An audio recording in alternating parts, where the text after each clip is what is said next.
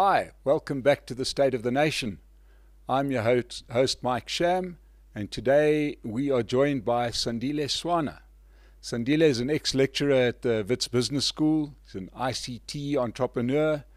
Uh, he's involved with African media online, and he's a regular commentator on uh, some of the SABC political uh, broadcasts. I certainly saw some wonderful analysis when uh, we were treated to our almost cabinet reshuffle uh, when Cyril Ramaphosa kept us waiting for days on end and then hours on end and then minutes on end before he told us he was going to have a smaller cabinet and he was going to do that by enlarging the cabinet. And he was going to reshuffle the cabinet by getting rid of nobody was doing a bad job, but just shuffled a bit of the deadwood and brought some people in there. And we got a minister of electricity, even though we've got two other ministers that manage electricity.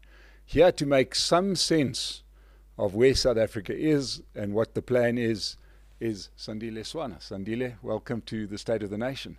It's lovely to have you. Thank you so much, uh, Mike, and uh, good morning again to your viewers. Yeah. Now let's let's start off with uh, let's call it the cabinet reshuffle. Right. That was uh, a couple of weeks ago, um, and in essence, everybody who is doing a bad job uh, in those important positions was retained. And uh, we got ourselves another minister of electricity because apparently a third minister won't do what the first two were meant to do. What did you make of it? Uh, the the cabinet reshuffle. Uh, uh, uh, I I would like to look at it like we normally do in a game of cards. In a game of cards, when it's time to reshuffle the cards, you don't get a new packet of cards. You take the same card, the same uh, cards, you order reorder the sequence, and then you put them on the table, and the game continues. So we anticipated a lot of us that in actual fact Cyril was going to do exactly that. Um, and there are reasons for that.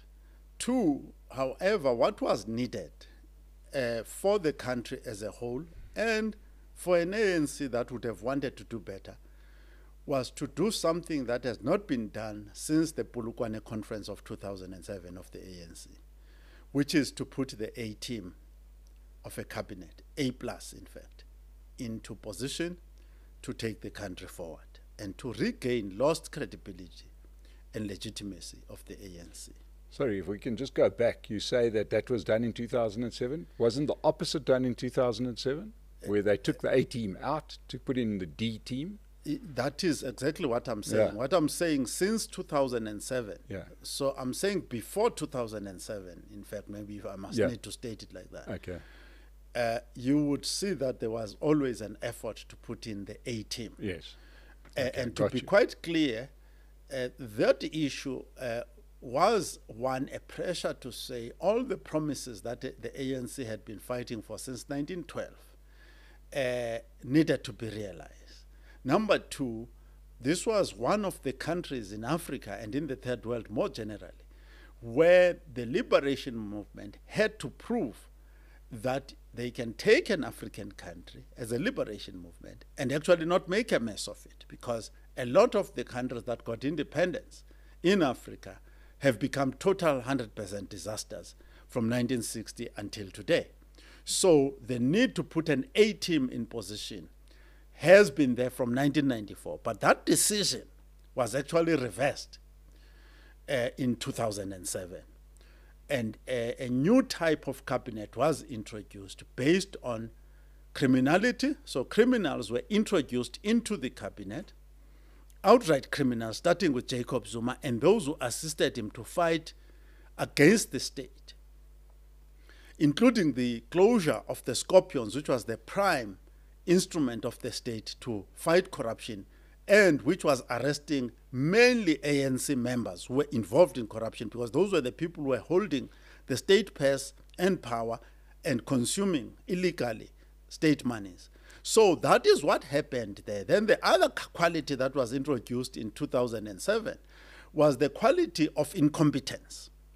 So people with no track record of achievement in life generally in their careers and professions were freely introduced into the cabinet, and that pattern has been maintained from 2007 until today. And lastly, then, um, uh, it was the culture of non performance, because you can be competent, but you are a non performer, right? So the spirit and energy and motivation to actually get the job done at all cost, that spirit was lost in 2007 in the ANC.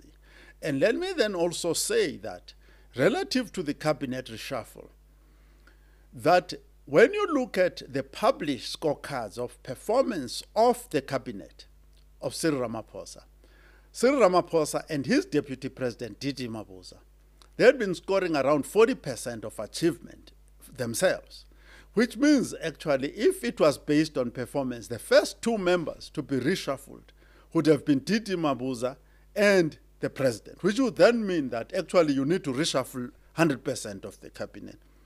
So the people who would have gotten uh, at least above 50% in that cabinet from the various scorecards would have been about three members of the cabinet.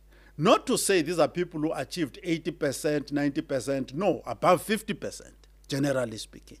So you are talking about a culture of non performance. And the last thing I'll say about this is that, in my judgment, since the departure of Thabo Mbeki from the cabinet and from the presidency, the position of state president in South Africa has remained vacant.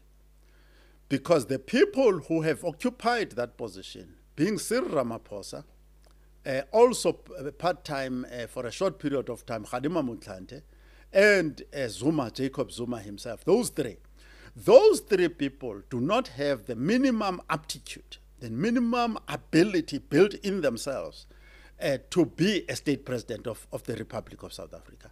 Maybe a village chief or some other little activity like that, but certainly not the state president of the Republic of South Africa. Certainly, chairman of SANCO in KZN seems to be quite appropriate for Jacob Zuma. That may be some a role that he can uh, that he can play because uh, you know he just obviously just doesn't want to retire to his uh, his palatial home in uh, in KZN. Well, it's not so much that Zuma may not want to retire. All of us, uh, we are not young men, you and I. Uh, we know that as time progresses, your levels of energy and the amount of stress that you want to take reduces. Hmm. Uh, so I'm sure Zuma would have loved to be looking after his cattle and, and, and his grandchildren and other things like that. But he has got to have some form of power, whether that power is civic power or proper state power. And that power is going to be used by him to prevent him from going to jail. Anything that is of a political nature that Zuma is doing is not that he's trying to help you and me or to help anybody, it is to save himself from going to jail. So, in other words, it's to have a constituency of any source, any kind, so that constituency can fight. And as we saw in July 2021, you can at least mobilize a constituency so uh, his former comrades decide uh, to lay off him because it's just too troublesome to, to go after him. But let's look at what you're saying uh, when you're saying that uh, post Thabo Mbeki none of the occupants of the union buildings has kind of been up to the task, and the results are are, are almost uh, impossible to challenge because, my word, South Africa has never been in worse shape um, in post uh, democracy, post 1994 South Africa. So if we look at the bench, you know, we we get very concerned about Bafana Bafana not being able to qualify for anything, but it's it's not for lack of uh, using the available talent. There just seemingly is no talent. Is there anybody in the ANC that you would employ in your business? Uh, in other words, yeah. is there anybody who could rise into those senior positions? Yes. Uh, yes. Because it's not not evident to me that there's anybody there in the upper echelons or in anywhere in, yeah. in leadership that looks like they could be a wonderful state president yeah. in the future. Let us let us then uh, let me then answer your question narrowly relative to the ANC first, but mm. I think the question is bigger than that.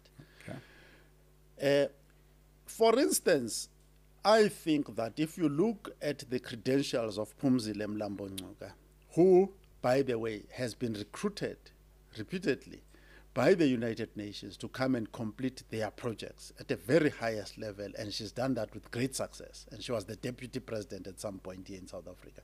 Phumzile Mlambo to my mind, meet the minimum criteria, criteria, criteria to be a state president here, or a person of similar capabilities, background, and experience, and a track record of success. And she was fortunate enough to have been part of a successful uh, cabinet uh, before uh, uh the, the Polokwane debacle but, happened. But her own track record was, was poor as a, as a cabinet minister. Uh, I, I don't know about that. The, let us say this. Let us say this. The, the, when you say the cap, there are other issues hmm. that we need to look at. There are issues where, for instance, people would have argued with Phumzile Mlambo Ngcuka about the mining charter, about the BE aspects of, of, of, the, of what she did in the mining industry. And I was actually in the mining industry, and I'm still in the mining industry. Uh, we made money. It was possible to make money under Mlambo Ngcuka. Mines made money, uh, and they were performing. But there were issues of a social and political issue that don't affect just mining, that affect South Africa as a whole. So, so to me, let's leave those issues alone. Let, let me then continue with my track record because my, my issue is about the people of the ANC. The second point I want to make is in order to win the liberation struggle, the ANC was one organization among many. In other words, there was what was called the mass democratic movement.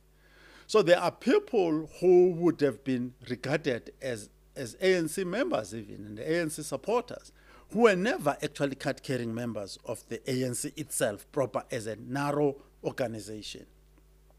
In that group of people, those are the people who sustained the struggle eh, and successfully prosecuted the struggle. And there are actually a lot of people in that broad group who are very competent and who occupy many senior positions in South Africa, whether they are in boards of directors, whether they are principals of universities, etc., chairmen of, of boards of companies, they, they are all over uh, uh, in that.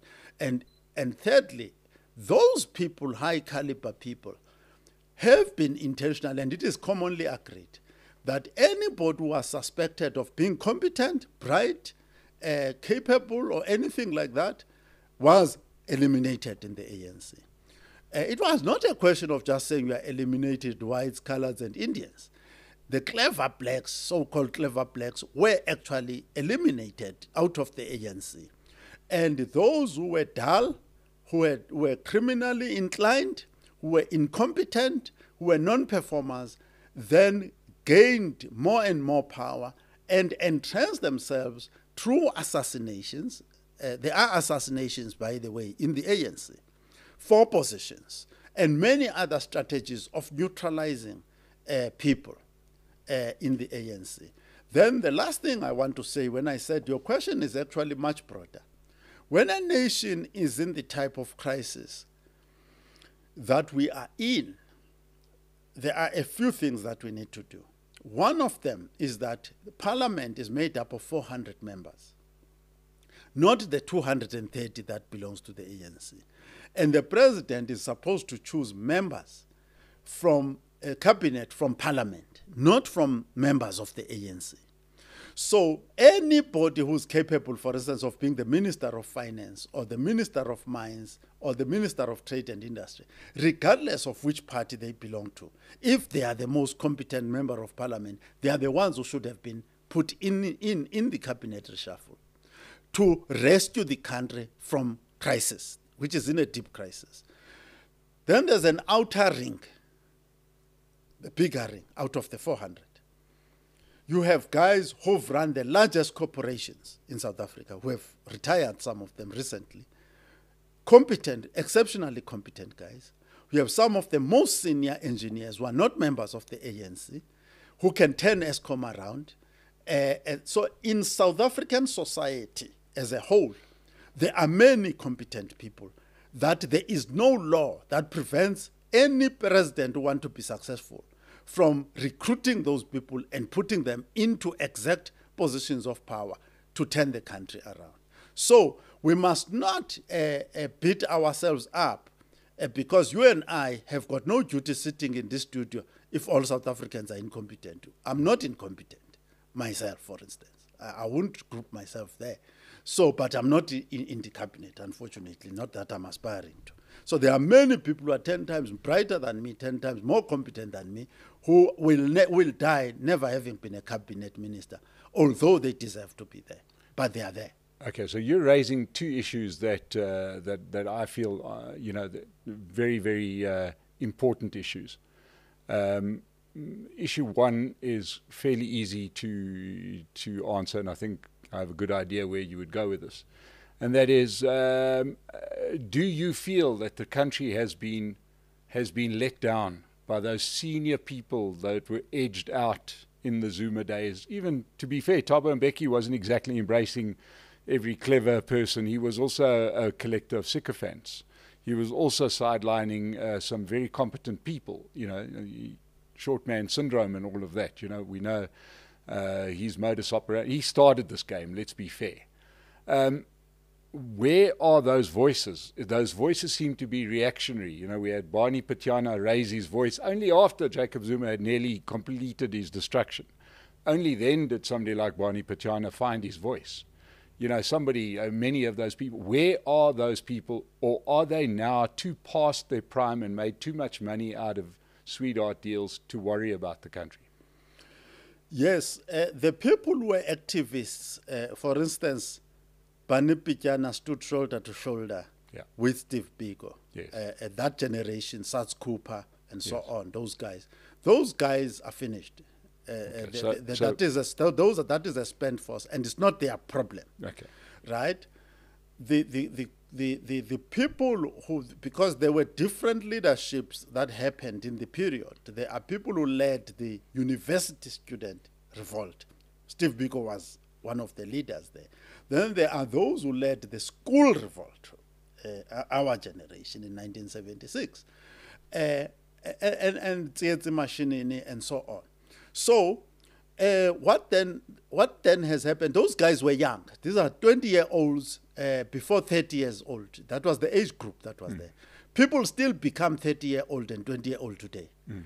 and and they are sleeping on the job. Our children are sleeping on the job.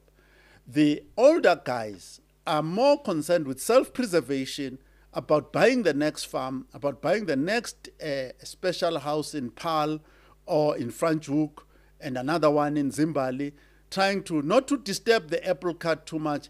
He makes a controversial speech before too long, and I'm, i know what I'm talking about. I've received some of these calls myself, uh, whereby you make some speech that could be could be rattling the apple cart, and then you get a call that you know, Sandile, the things you are saying are so constructive. Uh, that in fact we think we can use you. In other words, you are being offered a job somewhere in the state and then your mouth is going to be full of what you are eating there. Then you are going to say less. So money, a lot of these guys are very rich. Mm. A lot of the guys were activists, so they are impotent. They are totally useless right yes. now. And those who are not rich are so poor that they are economically and financially paralyzed and they no longer have their own infrastructure to stand up as independent voices. So we need new Steve Bikos to yes. rise up. And of course, much of their, uh, their future um, income depends on not upsetting that apple cart. Am I right? So why that would is, you do it? That is that is absolutely correct. Uh, I mean, look, if you've got a jacuzzi, you've got all these types of things, the saunas and what have you, why, do you want to create chaos? Yeah. Right? Well, you would do it only if you felt that the country that you have fought for is uh, is potentially being destroyed for your grandchildren. You know, they say, well, you know, true uh, sort of selflessness is to plant a tree under which you would never sit in shade. You know that that's real sort of uh, patriotism, I suppose, building a country not for yourself but for your grandchildren. I want to ask you something. I recently interviewed Khaya Sithole, a guy I really rate highly, very intellectual. I put a question to him because I think he finds himself in that cohort of people that you're doing. And um, I said, what in, you know, during the Trump era. You know, Trump, from a, from a communications perspective, was brilliant. And what he really did really well was he created these cutting brilliant slurs that seemed to destroy careers. You know, he would call uh, um, Ted Cruz lying Ted and, you know, crooked Hillary. And these things really, really stung to the point that those people were almost damaged goods by time by time he, he, he sort of finished with those insults. Well, South Africa has had an absolutely brilliant, brilliant insult. And it seems to have worked, but not on one person, on an entire generation and that is when Jacob Zuma said, called out clever blacks, it seemed at that point that all young professional black people retreated completely out of the picture. I do not see 35 to 45 year old blacks making an impression anywhere. Yes, there, there is a a, a, damage that has been done. Jacob Zuma can be blamed for it, but I don't think that his impact is as big as. I'm saying his slur. Yeah, brilliant. yeah, yeah. I'm talking the, about the slur, but obviously it's like uh, Marx, Marx and Marxism go together. Mm-hmm. So, so let's say Zumaism. Let's call it Zumaism. This clever black idea, for the sake of argument. Uh, uh, I look at my own children I look at my nephews, uh, nieces, and my younger cousins. Uh, I look at their level of political consciousness. They are nowhere near our level. The things they know and the things they are prepared to do about politics are very different. So, the kind of discussions that have been going on in our homes, uh, and I'll talk about uh, black homes in general uh, uh, for that matter, I think the quality of engagement changed a lot to very basic things. Uh, that this type of discussion is about going to St. Going to Michaelhouse, uh, uh, you know, how is the BMW X5 or whatever it is better than the GLE of the Mercedes? The, the, the quality, and sometimes you meet adults and and you listen to to the discussion it's about the latest whiskies and all that.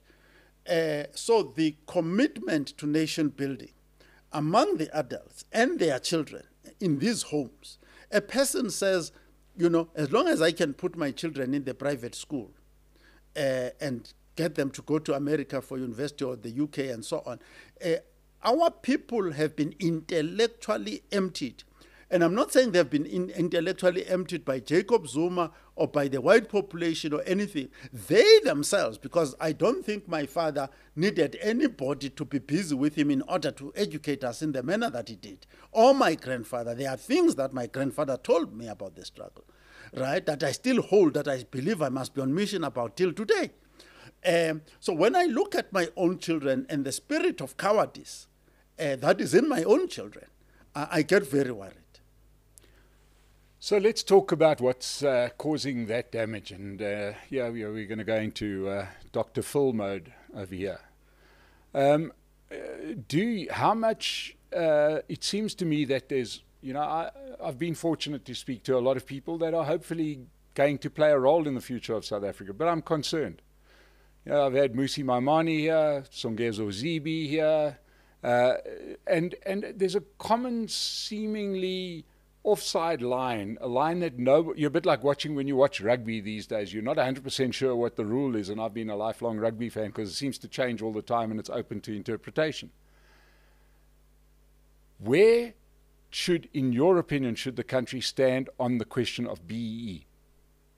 Because this seems to be the critical point that this is this is the the the current we can talk about the original sin, but we're talking about the current one that seems to be blowing everybody apart, right?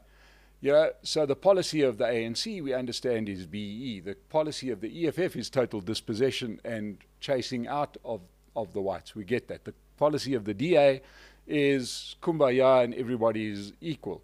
Some, you know, then you've got Herman Mashaba who's having a problem within his own party. He is firmly against BE, but it seems like everybody else isn't, right, within his party. These new parties come along, and I've sat here, and Herman and, uh, not Herman, Mmusi and Songezo sat in that seat. And they seem to espouse a, a view of we need it, uh, but we must just do it nicer. Right? But you can't have, there's an offside line or there isn't.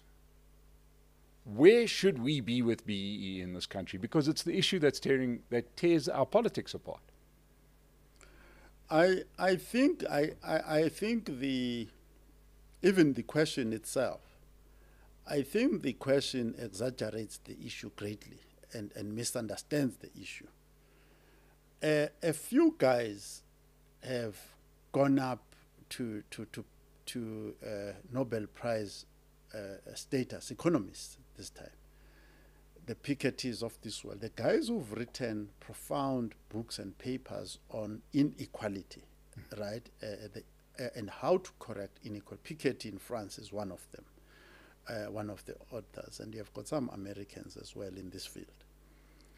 Now, uh, so the the title BEE uh, uh, uh, Uh, uh, uh, is, is is what South Africans chose to call inequality or the correction of inequality. Others chose to call it apartheid, because the idea of inequality in South Africa has been there for centuries. That people in South Africa, by law, must be unequal, and then the idea of equality of citizen is still struggling to actually emerge. So the the theories that need to be adopted and philosophies that need to be they are there. Piketty has written them out uh, to say that create a society which is more equal. Now, in a society that is more equal, the, the, you know, for instance, there are people I was born with in Soweto who can never dream to be in this studio, right?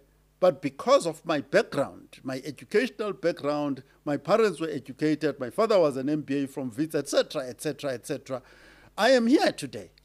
But there are people who are my neighbors, same circumstances, but who will never be here. They can't dream of it. So you do need, in order to create a, a, a, a democracy, first of all, and a republic, you do need to have policies of equality.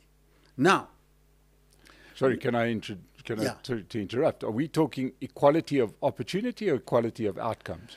Because uh, that's obviously the issue here. I, I, I don't have that debate. Uh, but it is a debate no, no, you have to have. Yeah, because no, let, me, let, me, let me explain. I'll use right. examples. Please. When the Westerners conquered Japan, they realized that this war mentality resided in the main among the landed classes of Japan, the people who owned the land. So those were the upper classes. Yes. Who can then railroad society in a particular direction. So one of the things that was done, which then proved throughout Asia to be a major source of rapid economic progress, because it was repeated in different formats mm. across Asia, mm. but it was decisive. In, and in, continues today. And continues today. Is that land must be redistributed equally. Now, to me, that is an equality of outcome because we're going to end up owning physically the same amount of land, right? But the aim of it is that we must be equal citizens. Yes. So you must not have instruments that give you the power to sway the nation and other people to be silenced and unable to debate in the nation. You go to nations like Sweden, and it is interesting that at, uh, in their social democracy, they say that there must be full employment, right? In other words, if everybody is economically independent, physically, I have my money, I don't need to, to, to borrow things or to depend on you, I depend on myself, it's a society that is relatively equal. Then you find that then the lower classes, if you want to call them that, the working classes, tend to be more influential in the democracy under conditions of full employment, right? So we cannot say we're equal when our pockets are not, when our pockets are empty. Uh, we, we cannot have to say, no, guys, we have equality of opportunity, but the other guy has got no soup and has got nothing to eat. Uh, it can't be. Uh, uh, you can't even think when you are actually financially frustrated. So, this idea of creating a false dichotomy of equality of opportunity and equality of outcomes is not there. We want to be able to say a, a citizen, any citizen, does not have any reason to fear, and there are no physical impediments to them standing up to another citizen who's trying to derail the country or do any other thing. So that I did that big debate about equality of opportunity, equality of outcome.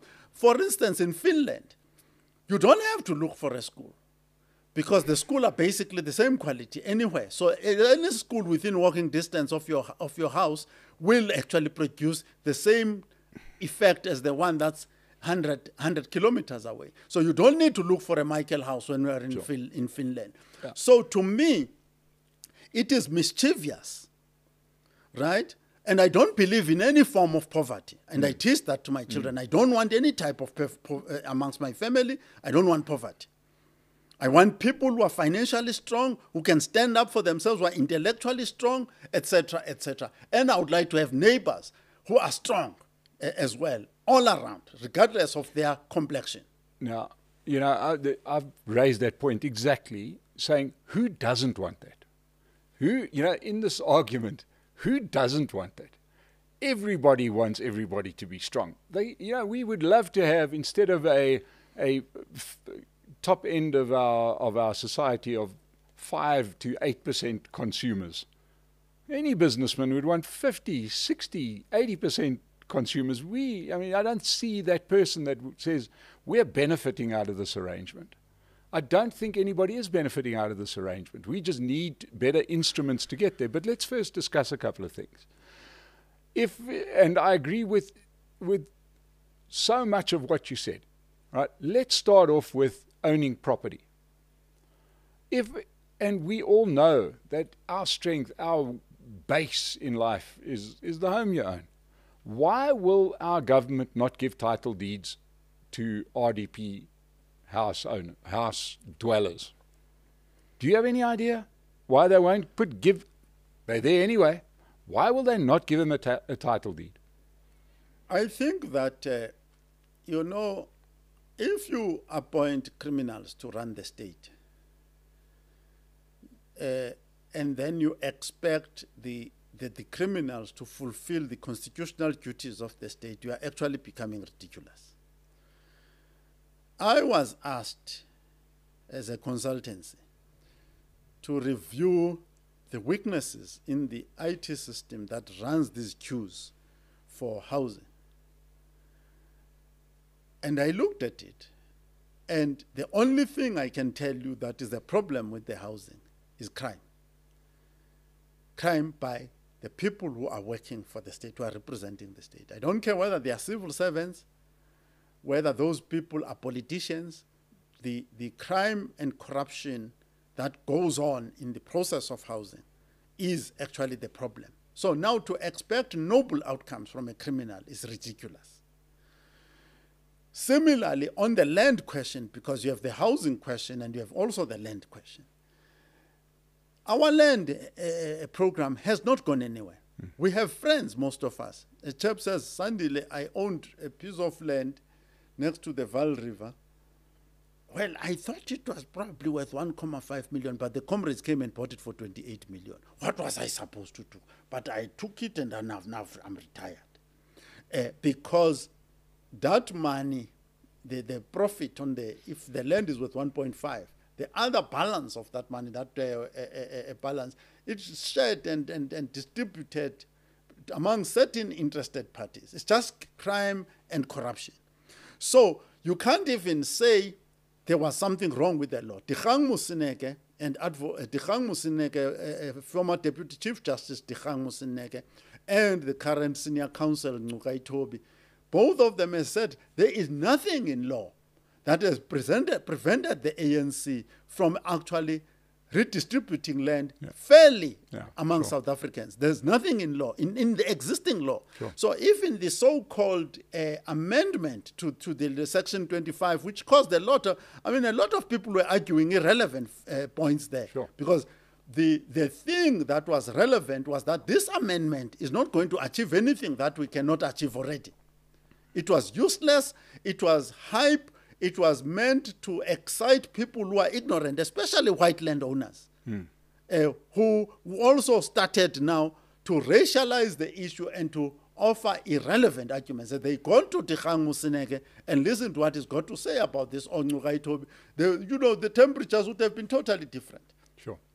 It's hard not to obviously have your cage rattled by people that are that are saying those kind of things. You know, um, let's look forward here. We've we've outlined so many of the problems, and you know, you, you, some of the issues that bedevil us. But there's a price to pay ultimately.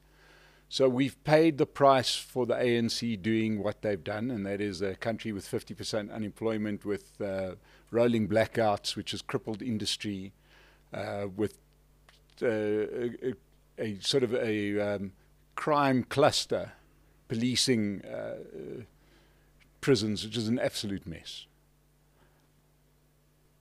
At what point does this start hurting the ANC at the polls?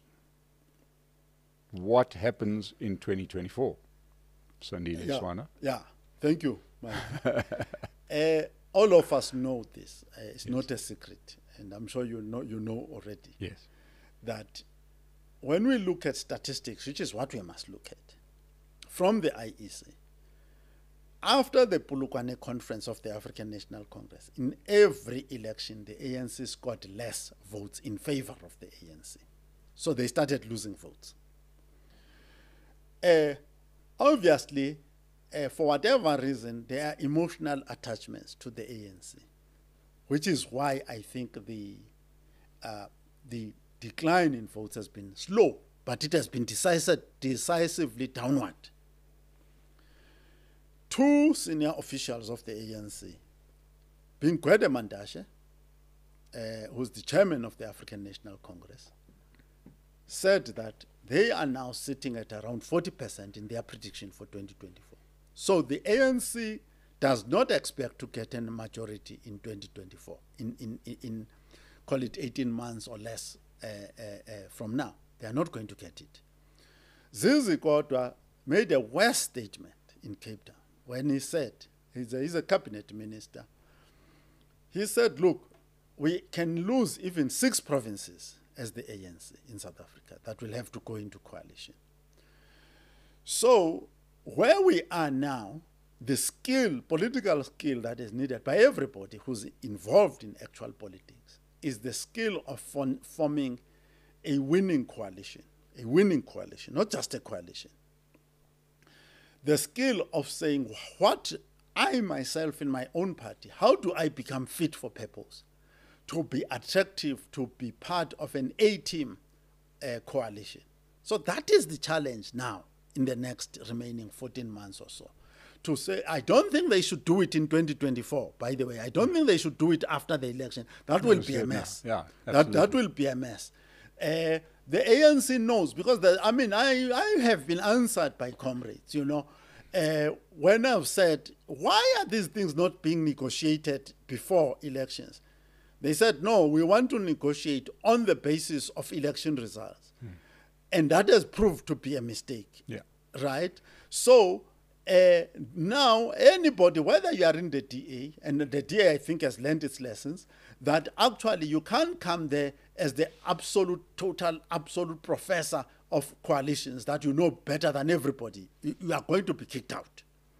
So now, all the issues that are relevant to coalitions, whether you are the PA, Gayton McKenzie, whether you are Malema, whether you are the Freedom Front Plus, whether you are the IFP, you need to engage your own people, you need to engage with other parties about what needs to go into these coalitions.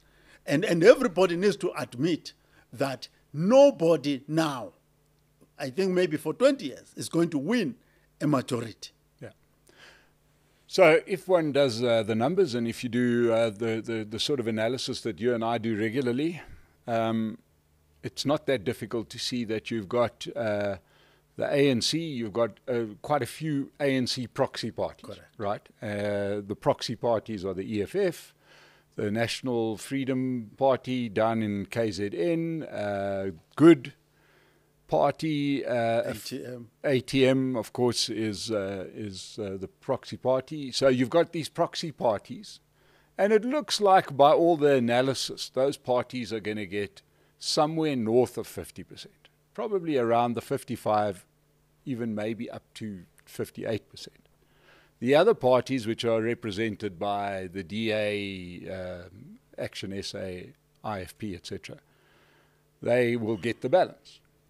Do you see that changing in any way, or do you see? Uh, I, I I think there have been surprises, uh, maybe negative surprises. Mm. Uh, um, I thought there was an understanding, first of all, among the opposition parties, including the DA and EFF. Uh, the PA is also part of this little squabble here, but those two, DA and EFF, that the period we're in now is only about removing the ANC from power. In other words, the other parties need to support a view that says, let's keep the ANC out. It's not to say that is based on hating the ANC. It's based on accepting that the ANC is run by criminals as a, a continuing criminal enterprise.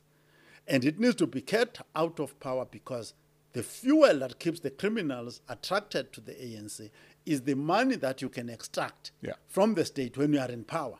Yeah. So the politics, proper politics, uh, I heard you in one of your videos quoting one of my favorite politicians, Theodore Roosevelt. Theodore Roosevelt, by the way, one of his most distinguishing features was to eliminate from power criminal politicians, gangster politicians, sure. and from the banking system.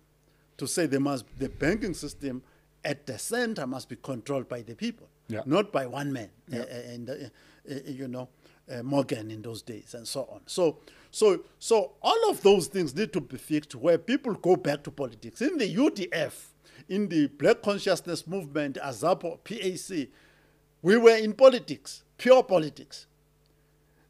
Now, uh, the politics are now 90% money, and then 10% is something you cannot define. Do you think it's helpful to even think back to those days? And I, and I, I really sort of put that honestly because if the country is going to progress, we need to understand that you know, a struggle much like a war. Let, let's use the example of Ukraine. If you're a Ukrainian right now, we are all Ukrainians, our mission becomes very simple, right?